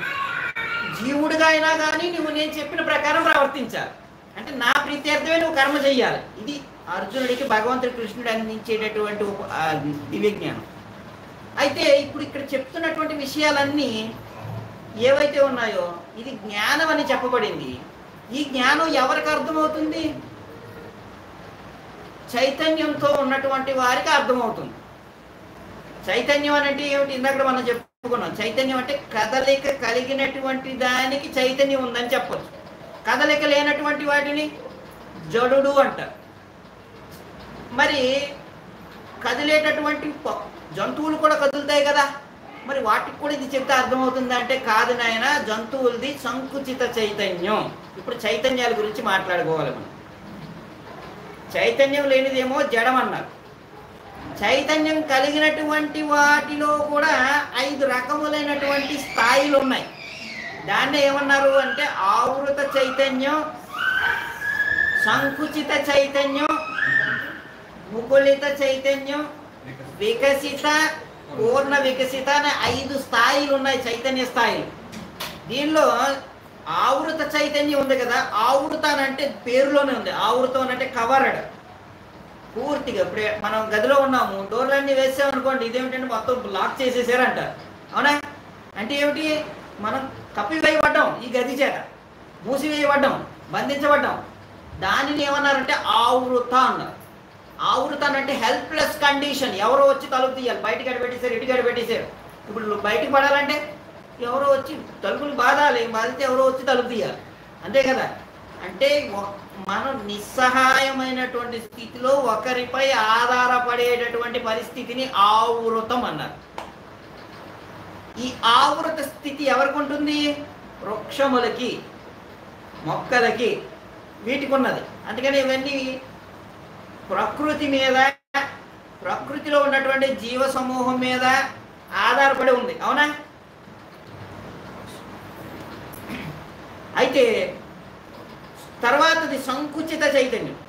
సంకుచిత చైతన్యం అంటే దీనికి కదలిక ఉంటుంది. కానీ విశాలమైనటువంటి దృక్పథం ఉండదు. విశాలమైన దృక్పథం ఉండదు అంటే ఏమిటి? నేను నాది నేను నాది నేను నాది అంతే. ఎంతసేపు బ్రతికినంతకాలం నేను నాది అని బ్రతికితే తప్పితే మనది అనేటటువంటి బుద్ధి రాదు దానికి ఆ బుద్ధి దేనికి ఉంది జంతువుకు ఉంది పశువుకు ఉంది జంతువు చూడండి ఎంతసేపు నేను నాది అంటుంది అది. నేను నాది మనది అనే భావన రాదు దానికి నేను నాది. ఆహారం పెడితే నేను నేను ముందని దూకుతుంది. కొట్లాడుతుంది. ఏదైనా జీవితంలో ఏ పరిస్థితినైనా కానీ ఆహార నిద్ర భయం ఐదునాలు అనేటటువంటి దేనిలోనైనా కానీ నేను నాదే అంటది కానీ అది అసలు దీని యొక్క ఉద్దేశం ఏమిటి? ఇవి ఇది దీని యొక్క ప్రయోజనం ఏమిటి అనేటటువంటి విచారం చేస్తుందా? చెయ్యదు. అందుకని దానిని సంకుచితం అన్నారు. సంకుచిత పేరులోనే ఉంది. సంకుచిత మనస్కుడు అని అంటారు కదా? విశాల బుద్ధి కాదు కలుపుకునే బుద్ధి కాదు. వాటర్ తీసుకుంటాడు ఇది నాది అంటాడు. ఎవరైనా అట్లా కదులుతూ కదులుతూ చేయి తగిలింది అనుకోండి నేను తగ్గుతున్నా తగులుతున్నా? అని అంటాడు. ట్రైన్ ఎక్కారనుకోండి ఈ సీట్ నాది అంటాడు. బస్సు ఎక్కాడు అనుకోండి ఖర్చు వేసి ఈ సీట్ నాది అంటాడు. అట్లాంటి పరిస్థితి ఉంది. ఎక్కడ దాకా ఎందుకండి ఇక్కడ మన టెంపుల్ ముందు ఆటో మాట్లాడుకుంటారు అనుకోండి ఎవరైనా ముందు మాట్లాడుకుంటుంటే నేను మాట్లాడుకుంటున్నాను ముందు అంటాడు. ఒక స్టాండ్ ఒక స్టాండ్ ఆటోలోకి ఇంకొక ఆటో వాడు వచ్చాడు అనుకోండి ఏ ఇది మాది స్టాండ్ నువ్వు వచ్చేవి ఏమిటి అని మాట్లాడతారు. దీన్ని ఏమన్నారు? సంకుచిత చైతన్యం అన్నారు. బార్డర్స్ కుక్క చూడండి. ఈ వీధిలో ఉన్నటువంటి కుక్క ఆ వీధిలోకి వెళ్ళింది అనుకోండి ఆ కుక్కలు ఊరుకుంటాయా? ఊరుకో కదా? ఏ ఇది మాది ఏరియా నువ్వు వచ్చేవేమిటి అని చెప్పి ఎలాగైతే తోలేస్తాయో తరిమేస్తాయో కరిచేసి యుద్ధం చేసి తరిమేస్తాయో అదే విధంగా మనం కూడా చేస్తున్నాం ఈరోజు వాటికి మనకి తేడా ఏముందండి? ఇది నాది అంటాం ఈ బుద్ధి ఆధ్యాత్మిక పరి ఆధ్యాత్మిక రంగంలో కూడా ప్రవేశించింది. ఆధ్యాత్మిక రంగంలో ప్రవేశించిన తర్వాత ఏం జరుగుతుంది అని అంటే ఈ ఏరియా నాది అంటారు. ఈ ఏరియా నాది. ఈ ఏరియా నాది కాబట్టి ఈ ఏరియాలోకి మీరు ప్రచారం చేయడానికి రాకూడదంట అట్లా ఉంది. ఇంకా ఆధ్యాత్మిక జీవితం ఏమిటి అక్కడ? ఆధ్యాత్మిక జీవితం అంటే విశాలమైనటువంటి దృక్పథం కలిగి ఉండాలి కలుపుకొని పోవాలి. విడగొట్టేటటువంటిది విభజించుకునేటటువంటి పరిపాలన చేసుకునేటటువంటి వర్గాలు ఉన్నాయి కదా ఇవంతా ఏమిటంటే సంకుచిత బుద్ధి విశాల బుద్ధి కాదు. ఇక్కడ ఆవృత చైతన్యం కలిగినటువంటి వారికి సంకుచిత బుద్ధి కలిగినటువంటి వారికి కూడా ఈ జ్ఞానం ఇప్పటిదాకా చెప్పుకున్నాం చూశారు. సరే ఆత్మ అనాత్మలో వ్యత్యాసం. అది అర్థం కాదు. నీవి ఈ శరీరం కాదు ఆత్మ అని చెబితే అర్థం కాదు. నీవు ఈ శరీరం కాదు ఆత్మ అనేటటువంటి జ్ఞానాన్ని అర్థం చేసుకోవాలంటే ఈ ఉపదేశాన్ని మొట్టమొదట అతడు మానవతా స్థితిలో ఉండాలి. జడుడుగా ఉంటే అర్థం కాదు. తర్వాత రెండవది ఆవృత చైతన్యం ఉన్న సంకుచిత చైతన్యం ఉన్న అర్థం కాదు. అంటే ఏమిటి? పశుబుద్ధి ఉండకూడదు. మానవ ప్రవృత్తి ఉండాలి. మనిషిని యొక్క ప్రవృత్తి కలిగినటువంటి వాడికి నీవు ఈ శరీరం కాదు ఆత్మ అని చెబితే అర్థమవుతుంది. అందుకనే ఎవరికైతే మనుష్యుని యొక్క ప్రవృత్తి లేదో వానికి ఆత్మోపదేశం చేసినా కానీ అర్థం కాదు.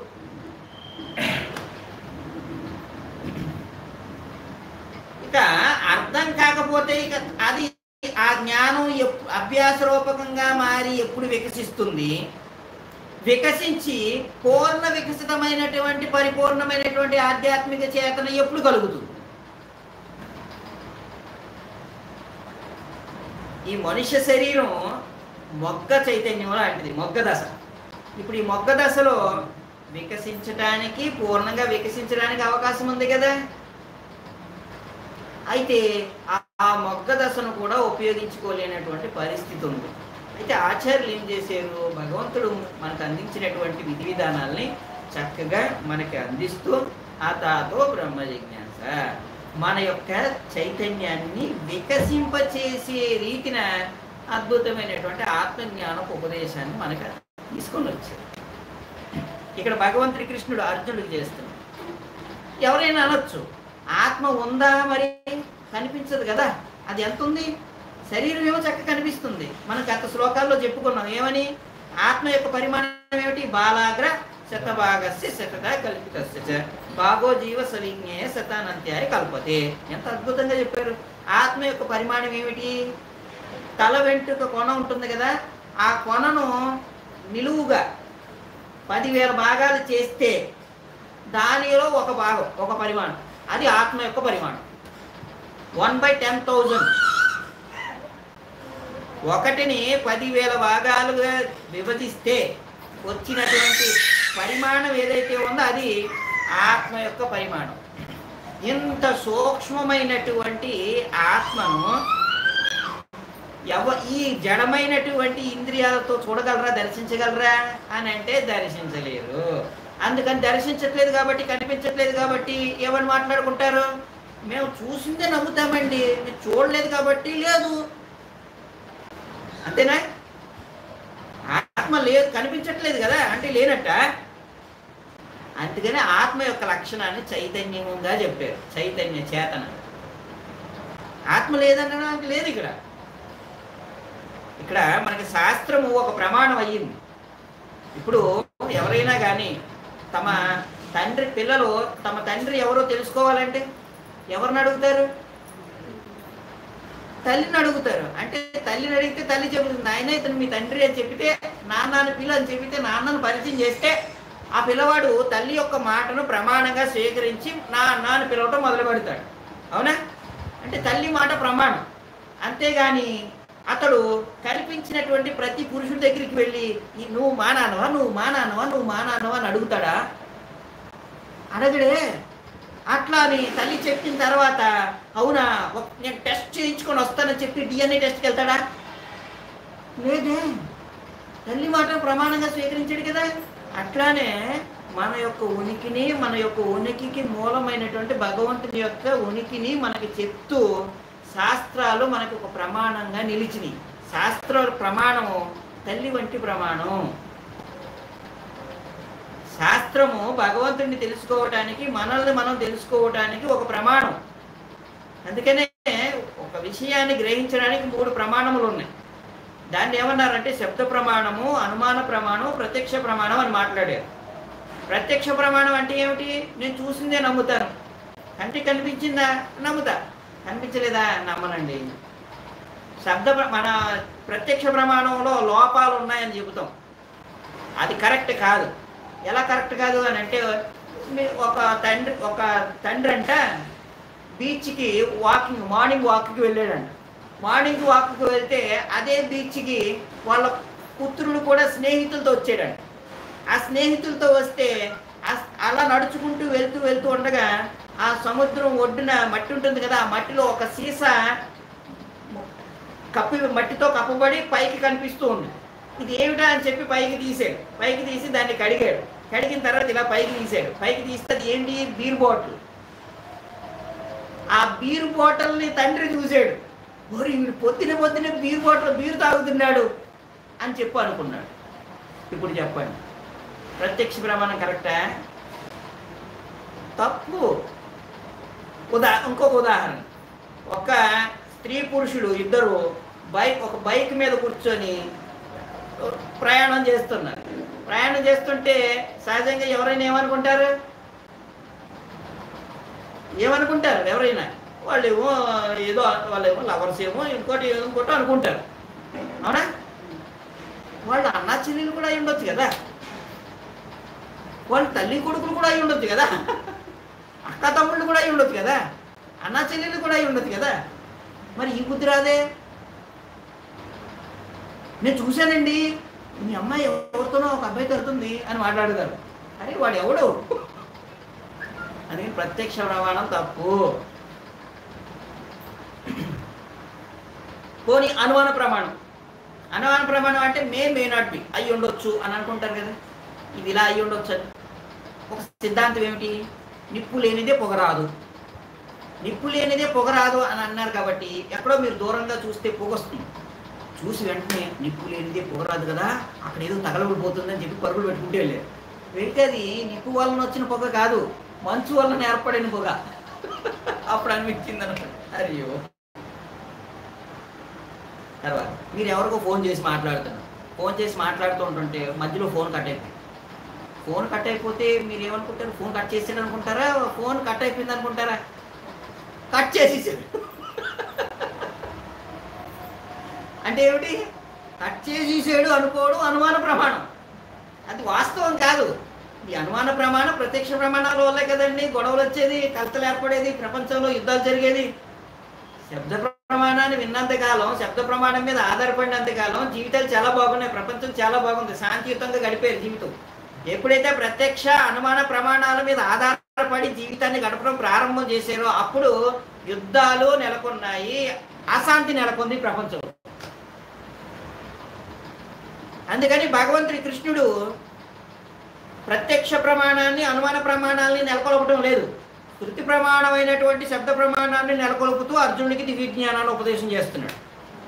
అందుకని శాస్త్రం ప్రమాణం. శాస్త్రం ప్రమాణం. శాస్త్రం చెబుతుంది ఆత్మ ఉన్నది. ఆ ఉన్నది. ఎలా ఉన్నది? చైతన్య రూపంలో ఉన్నది. అది ఉంది కాబట్టే కదులుతున్నాం. అది లేకపోతే కదలం. కామన్ సెన్స్ ఉంటే బుద్ధి అంటారు కదా కామన్ సెన్స్. కామన్ సెన్స్ ఏమంటారు? బుద్ధి కుశలత. ఇంగిత జ్ఞానం. ఇంగిత జ్ఞానం ఉన్నవాడికి అర్థమవుతుంది. ఏమిటి? నేను కూర్చున్నటువంటి చైరు కదలదు. కానీ నేను కదులుతున్నాను. ఇదేమో అచేతనం నేను చేతనం. అంటే నేను నాకు చైతన్యం ఉంది అని అంటే ఇది ఆత్మ యొక్క లక్షణం అని అర్థం చేసుకుంటాడు. ఇంగిత జ్ఞానం లేనివాడికి అర్థం కాదు ఇంకొక విషయం చెబుతా. ఇప్పుడు జీవించినంత కాలం ఏమో శరీరాన్నే చూసుకుంటూ మురిసిపోతాం. ఎవరైనా చనిపోయారు అనుకోండి ఏమంటాం మనం? వెంటనే చనిపోయారు అనుకోండి ఏమని ఏమని ఏడుస్తాం? పోయావా అని ఏడుస్తాం. అదేమిటి? పోయా అక్కడే ఉన్నాడు కదా. ఎక్కడ పోయాడు? ఎవరు వెళ్ళిపోయారు? అప్పుడు ఏమంటారు ఆత్మ వెళ్ళిపోయింది ఆయన అంటారు. అప్పుడు గుర్తొచ్చింది ఆత్మజ్ఞానం అప్పుడు దాకా గుర్తు రాలేదు. అంటే ఏమిటి? ఆత్మ ఉన్నది కదా. అందుకని శాస్త్రం ముందే చెప్పింది. ఏమని? ఆత్మ ఉన్నది. ఆత్మ అవినాశితు తద్విద్ది ఈయన సర్వం ఇదంతటం అంతటా వ్యాపించి ఉన్నది ఆత్మ. ఎంత అద్భుతంగా చెప్పారు చూడండి. ఏన సర్వం ఇదంతటం అందుకని ఆత్మ ఉంది కొన్నిసార్లు ఎట్లా అవుతుందనంటే శరీరం చేత కప్పబడిపోయింది ఆత్మ. కప్పబడిపోయినటువంటి కారణం చేత ఆత్మ కనిపించడం లేదు అంతే. చీకటిగా ఉంది కదా లోపలంతా. లోపలంతా చీకటి. చీకటి ఉంటే మనల్ని మనం చూసుకోగలమా? ఇప్పుడు ఉదాహరణకి ఈ డోర్లన్నీ బంద్ చేసి క్లోజ్ చేసేసి లైట్లు ఆపేస్తే మనం ఎవరు ఒకరికొకరు కనిపిస్తామా? కనిపించం కదా. కనిపించడానికి అవకాశం లేదు. చీకటి ఉంది. అదేవిధంగా ఈ ప్రపంచము ఎట్లా ఉంది? సూర్యుని చేత ప్రకాశిస్తుంది. సూర్యుడు లేకపోతే? లేదు కదా? కొన్నిసార్లు సూర్యుడేమో ఆకాశంలో కనిపిస్తాడు. ఆకాశంలో కనిపిస్తున్నప్పుడు ఇదంతా సూర్యకాంతితో ప్రకాశిస్తుంది. అయితే కొన్నిసార్లు ఏమవుతుంది అని అంటే మేఘాలు సూర్యుడిని కప్పివేసేస్తాయి. కప్పివేసినప్పుడు సూర్యుడు కనిపించట్లేదు కదా? సూర్యుడు లేడా?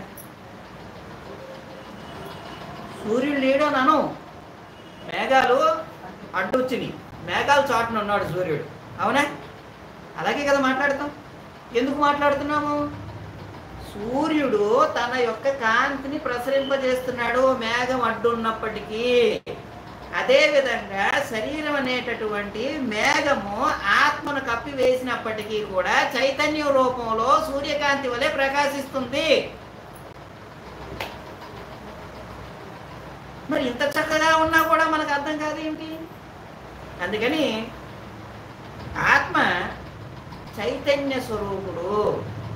ఈ జ్ఞానాన్ని కానీ వ్యక్తి కలిగి లేకపోతే ఎప్పటికీ కూడా ఆత్మను తెలుసుకోలేరు ఆత్మను దర్శించలేరు కనుకనే మొట్టమొదట ఆత్మను తెలుసుకోవడం కోసం ఆత్మ సంబంధమైనటువంటి జ్ఞానాన్ని అర్జునుడికి భగవంతుడి కృష్ణుడు ఉపదేశం చేస్తాడు. ఉపదేశం చేస్తూ అతను చెబుతున్నాడు. అందుకే ఆ జ్ఞానం కోసం అర్జునుడు కృష్ణుడిని సమీపించాడు. కృష్ణుడిని సమీపిస్తే అది విజ్ఞానాన్ని అర్జునుడికి భగవంతుడి కృష్ణుడు ఉపదేశం చేస్తాడు. ఇప్పుడు ఇటువంటి ఆత్మజ్ఞానాన్ని వ్యక్తి అందుకోవాలంటే ఏం చేయాలి? తద్విజ్ఞానార్థం సద్గురుమేవాది గచ్చేది. ఆత్మజ్ఞానం ఆత్మజ్ఞానం అంటే మనకు ఉన్న చోటకి రాదు కదా. ఆత్మజ్ఞానాన్ని అందించేటటువంటి వారి దగ్గరికి వెళ్తే ఆత్మజ్ఞానం దొరుకుతుంది. అందుకని అతాతో బ్రహ్మ జిజ్ఞాస నిజమే. అదే నేను నువ్వు తెలుసుకోవాలి. మరి అది తెలుసుకోవాలంటే తద్ విజ్ఞానం సద్గురుమేవాది గచ్చేత దానిని తెలుసుకోవటానికి సహా గురుమేవాది గచ్చేత ఆధ్యాత్మిక గురువు దగ్గరికి వెళ్ళు. రెండవ ఉపదేశం ద్వితీయ ఉపదేశం. ఆధ్యాత్మిక గురువు దగ్గరికి వెళ్ళు. ఇప్పుడు ఇది తెలిసినటువంటి అర్జునుడు తన యొక్క శారీరక భావాన్ని తొలగించుకోవటం కోసం ఏం చేయాలో అర్థం కానటువంటి దిక్కుతోచినటువంటి పరిస్థితిలో ఉండి తనను తాను మర్చిపోయాడు. దేహంగా తనను తాను గుర్తించుకుంటున్నాడు. తన యొక్క దేహ ధర్మాన్ని మర్చిపోయాడు ఆత్మధర్మాన్ని మర్చిపోయాడు. ఏం చేయాలో అర్థం కానటువంటి సందిగ్ధావస్థలు కృష్ణ నాకు ఏం చేయాలో అర్థం కావటం లేదు. ఏది శ్రేయోదాయకము కూడా నాకు తెలియటం లేదు. కాబట్టి నిశ్చయంగా నాకు తెలియజెప్పు. కార్పణ్య దోష పాత స్వభావ పృచ్ఛామిత్వం ధర్మ సమ్మూఢ చేత ఏ శ్రేయ స్యాన్ నిశ్చితం శిష్య స్నేహం సాధి సారిమాత్వం ప్రపన్నం నేను నీకు సంపూర్ణంగా శరణాగతునవుతున్నాను శిష్యునవుతున్నాను దయచేసి నాకు ఉపదేశించు అని చెప్పి కృష్ణుడిని సమీపిస్తే కృష్ణ అర్జునుడి యొక్క పలుకులు విన్నటువంటి కృష్ణుడు శిష్యునిగా స్వీకరించిన తర్వాత ఆధ్యాత్మిక ఉపదేశం చేస్తున్నాడు. ఆత్మ సంబంధమైనటువంటి జ్ఞానాన్ని అందించడానికి సంసిద్ధుడయ్యాడు. కారణం ఏమిటి? అర్జునుడు రో శోకంలో ఉన్నాడు. నన్ను గురువుగా స్వీకరించాడు. కాబట్టి గురువు యొక్క బాధ్యత ఏమిటి? శిష్యుని యొక్క శోకాన్ని తొలగించాలి.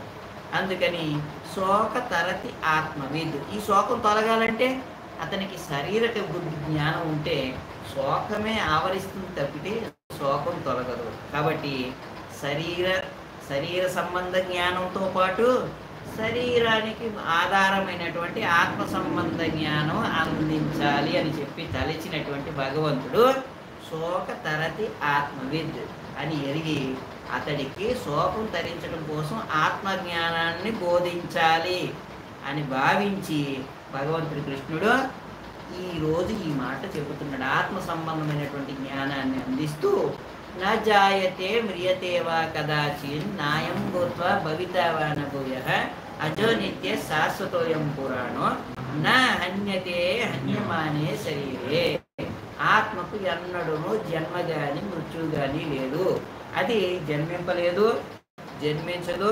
జన్మింపబోదు జన్మరహితమును నిత్యమును శాశ్వతమును పురాతనమును అగు అట్టి ఆత్మ నా హన్యతే మానే శరీరే శరీరం నశి చంపబడినా ఆత్మ చంపబడదు కాబట్టి అర్జున ఇక్కడ చం ఇక్కడ నశింపు జరిగేటటువంటివి కేవలం శరీరాలు మాత్రమే ఆత్మలు కాదు ఆత్మకి మృ- లేదు. కాబట్టి చంపడానికి నీవెవరివి చనిపోవటానికి వారెవరు? మీరు శాశ్వతమైనటువంటి వారు. అంటూ ఆత్మకు దేహానికి నడుము గల వ్యత్యాసాన్ని అర్జునుడికి చక్కగా తెలియపరుస్తూ జ్ఞాన ప్రకాశం చేసినటువంటి సందర్భం మనకి ఈ ద్వితీయ అధ్యాయం ఇరవయో శ్లోకం నందు అద్భుతంగా కనిపిస్తుంది. మరి మనం కూడా ఇదే పరిస్థితిలో ఉన్నాం మరి మనకి ఇటువంటి జ్ఞానం లభించాలి అని అంటే ఏం చేయాలి ఆ భగవంతుడి కృష్ణుని యొక్క ప్రతినిధి అయినటువంటి ఆధ్యాత్మిక ఆచార్యుడిని సమీపిస్తే ఆ సమీపించి ఆధ్యాత్మిక గురువుగా మన జీవితంలో స్వీకరిస్తే అతని యొక్క దివ్యమైనటువంటి ఉపదేశాలని స్వీకరించి అభ్యాసం చేసినట్లయితే మనం కూడా ఖచ్చితంగా అర్జునుని వలె ఆత్మజ్ఞానాన్ని అందుకుంటాం పొందు అనుభూతి చెందుతాం. అనుభూతి చెందినటువంటి స్థితిలో హరిషే వచనం తవా అని చెప్పి అర్జునుడు చెప్పినట్టు మనం కూడా పలికి ప్రవర్తిస్తాం మరి అలాంటి అనుభూతి పొందడం కోసం మనకి ఆచార్యులు అందించినటువంటి విధి విధానం ఏమిటి?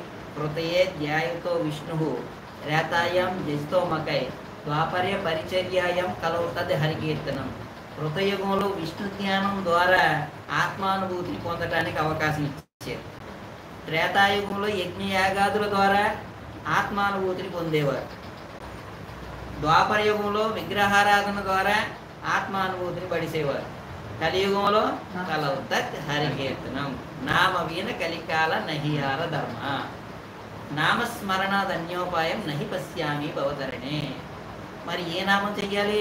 హరేర్ నామ హరేర్ నామ హరేర్ నామ ఇవ కేవలం కలం నాస్తేవ నాస్తేవ నాస్తేవ గతిరంజద హరినామం తప్పితే హరినామం తప్పితే హరినామం తప్పితే ఇంకొక మార్గం లేదు ఇంకొక మార్గం లేదు ముమ్మాటికి ఇంకొక మార్గం లేదు అంటారు. మరి హరికి శతకోటి నామాలు ఉన్నాయి కదా ఎన్ని నా ఏ నామం చెయ్యాలి? అని అంటే ఇటి షోడశక నామనం కలికల్మష నాశనం నాత పరతరూపాయ సర్వవేదేశ దృష్టి పదహారు పదములతో కూడినటువంటి హరే కృష్ణ హరే కృష్ణ కృష్ణ కృష్ణ హరే హరే. హరే రామ హరే రామ రామ రామ హరే హరే. అనేటటువంటి ఈ దివ్యమైనటువంటి నామాన్ని జపించినటువంటి వారికి సంకీర్తన చేసినటువంటి వారికి శోకమును తరింపజేసేటటువంటి ఆత్మజ్ఞానం కలుగుతుంది. శోక తరతి ఆత్మవేద్ అవుతారు ఎవరైనా కానీ హరివో అందుకని మనం ఆత్మానుభూతిని పొందటం కోసం సులభమైనటువంటి మార్గం ఏమిటి? హరే కృష్ణ మహామంత్రాన్ని జపించడం హరే కృష్ణ మహామంత్రాన్ని మనకి సాక్షాత్తు భగవంతుడు కృష్ణుడే శ్రీ చైతన్య మహాప్రభువు వచ్చి మనకి విస్తృతంగా పరిచయం చేశాడు. దీనికి నామనామకారి బహుధ నిజ సర్వశక్తి తత్రార్పిత నియమిత స్మరణీన కాల దీనికి నియమ నిబంధనలు ఏమి లేవు. ఎప్పుడైనా ఎక్కడైనా ఏ పరిస్థితిలో ఉన్నా కానీ నామాన్ని జపించుకోవచ్చు. చక్కటి ఫలితాన్ని అందుకోవచ్చు.